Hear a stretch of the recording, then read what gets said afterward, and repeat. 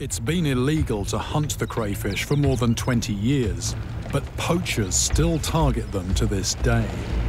It will take generations for the slow growing crayfish to recover, but Todd is determined to give them the best chance possible. Part of the deal is I don't let anybody know where we're going, and uh, to be honest, I'm lost anyway. I genuinely have no idea where we are. But to make sure that nobody possibly has a look at the background and from that works out where we are, I'm afraid I'm going to have to turn this off.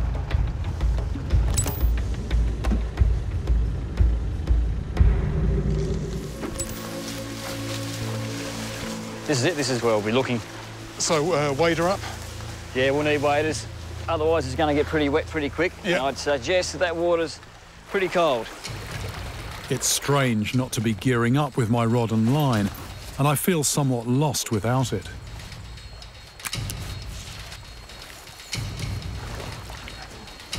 These tangles of fallen trees provide a vast labyrinth where crayfish can hide.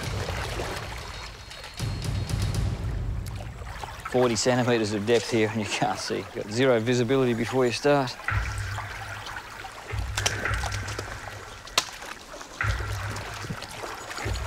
These log jams are always good. Pretty shallow there. Under that log there. You see they've just got massive areas to hide. They don't need to be in the water. They'll sit under the undercuts. And so This goes on forever, doesn't it? It's ankle deep water. You'd imagine it's shooting fish in a barrel, but you look more closely, there's undercut banks, there's, uh, there's a lot of places actually that you can't get to. And the chances are we've walked past some. Um, yeah, we've just got to give it more time. We move to a stretch of water further downstream. it's getting a bit deeper here.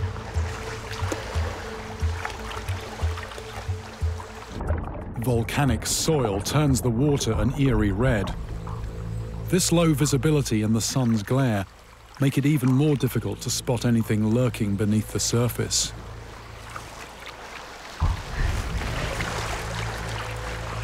Actually, Jeremy? Is that one there? Yeah, just facing you. I can see the claw. Heads, Heads this way. Going backwards. Finally, after days of searching, I get my first glimpse of the largest and most powerful freshwater invertebrate on the planet. All I have to do is grab it. Get your hand behind the tail and slide up towards the head. Then they can't get their claws back and, and grab hold of you. She's facing towards that bank. Can you see her okay? Not very well. God, I don't want to grab it in the wrong place, though, do I? If I get this wrong, my hand could be crushed. She's facing downstream now. Downstream. Yep. That way. Yep. Yeah. Yes. I've caught crayfish before, but nothing like this. This is what's that, a couple of pounds, Yeah, I'd say two pound.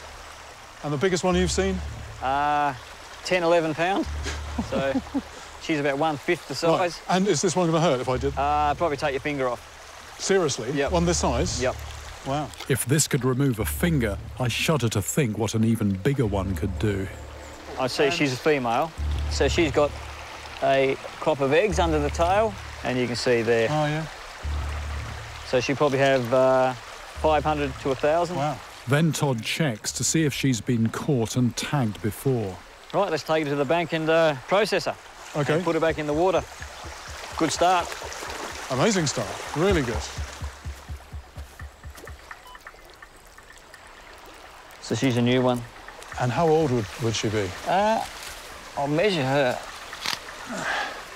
And she is six and a half inches. So she'd be about 21, 22 years. And has, has until today evaded capture by you. So that's that's encouraging, isn't it? Yeah. So is the next thing you're going to tag this one, are you? Put a, Yep. I'll put chip a chip in her and um, put her back. Each microchip tag contains a unique ID, which enables Todd to estimate crayfish numbers and growth rates. You are free to go.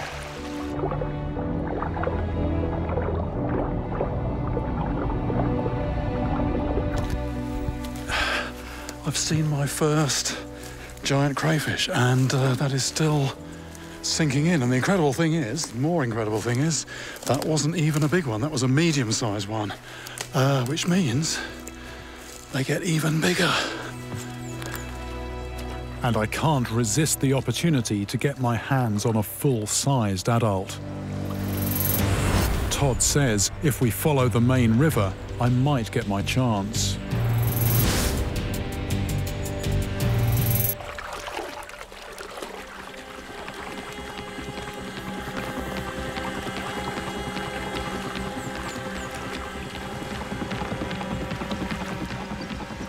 Is that one there?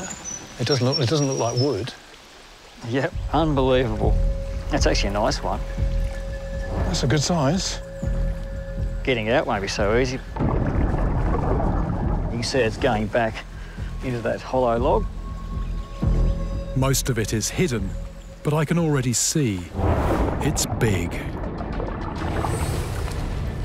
Do you think go un- underneath that this branch here, or, or go go with? I'd go over the top. Over the top. No, straight onto the top of its head.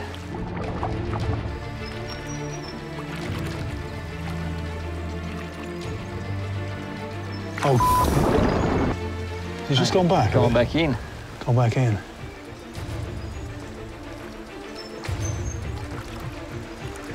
God, I don't want to grab it in the wrong place. Got it. I better get it out now. Hold on. There we go. Yes. Yes. Who would have thought you'd need two hands to hold a crayfish? This one is enormous, and there's no way I'd want to tangle with these claws. It's one of the largest Todd has ever seen. He estimates it must be nearly 50 years old.